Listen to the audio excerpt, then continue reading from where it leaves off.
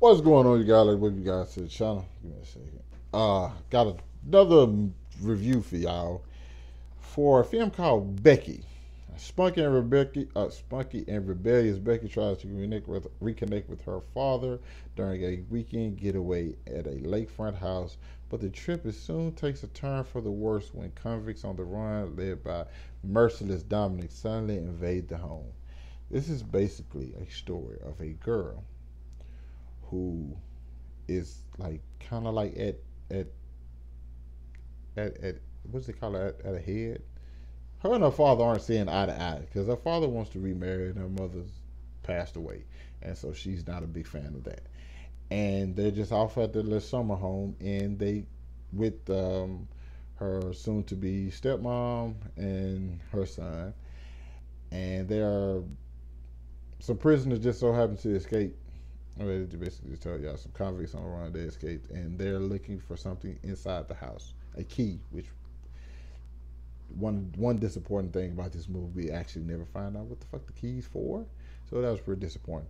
Uh, Kevin James actually plays the leader of the convicts. He's a Nazi bastard, uh, because yes, all Nazis are evil, sadistic sons of bitches. Yes, I said it. So if you guys have an issue with me, um, leave me alone.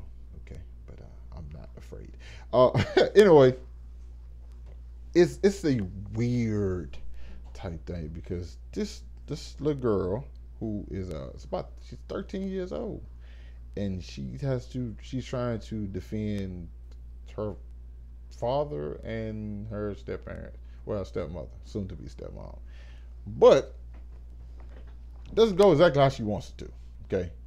Because things start happening and the movie is, is, is very very simple. It's just hey, we, this guy's looking for this key, and he'll kill anybody to get it, which we see find out early in this movie because there's a scene with two young kids, and you don't actually see what happens with those young kids, but you pretty much understand what happened with them, and it's probably it's, and it carries weight like through the rest of the film there are certain times where like certain likely cliches that the film falls into. It's like I kind of wish they didn't do that. And also this this little girl Becky apparently she also has some serious issues, which we find out by the end of this film because it's like, hey, you got some problems, okay? Some, you're gonna really need some some serious therapy sessions. But like she's kind of like still like traumatized over the fact that like a mother her mother dying, which is, is, always something for a, a younger kid. And uh, but I feel like there's more more to it than we got to see because I felt that there was like certain things that the kid did that you kind of like, okay, that that just happened, and it's, it, there's moments where like you, no matter who you are, you back against. Well, I ain't gonna say no matter who you are, but a lot of times most people back against a wall they like they come out swinging, and that's kind of pretty much what Becky did in this situation. Except Becky never stopped swinging. Okay, Becky didn't take a pause.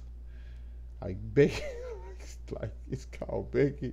Like this girl, like I said, man, she's gonna have some serious issues. Kevin James plays this nasty person, and, and he's great in it. He, it's like nothing he's completely different version of Kevin James than I'm used to. I'm used to seeing like laughing and stuff. This bald headed with a beard, and he is ruthless, like like super ruthless, like and I think it works. I, I'm not gonna lie. I would love to see Kevin James more stuff like this, like because he just got the he got the boss presence. Granted, towards the end of the film, it kind of like gets into a cinematic state where it just kind of start things just start like falling in order for for the for for Becky because for the most part, as the film goes on, it's kind of just like oh shit, you like it's very very tense. Like there are scenes where you just don't know what's gonna happen, and like like I said, these guys are, are murderers, and Kevin James' character is ruthless. So as the film goes on, though, I kind of feel like it still maintains that, but it becomes like, oh, she got out of this situation by doing this.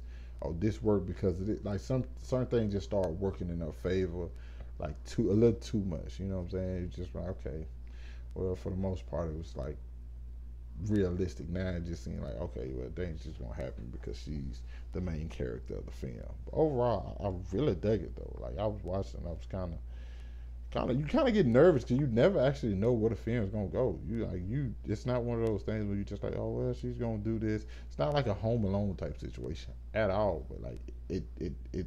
At the same time, it. I ain't gonna say at all. I'm gonna say it is, but it isn't.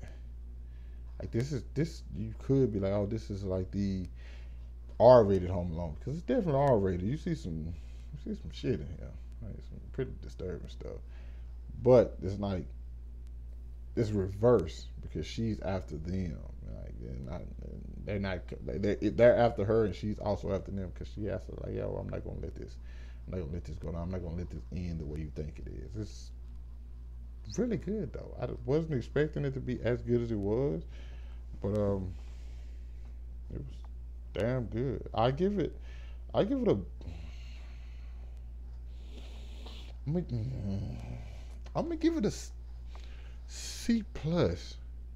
What I what B minus? I think I'm, I'm I'm C plus. C plus is solid for this. I think it's solid for this. I think everybody was great. Shout out to Becky, you crazy son bitch.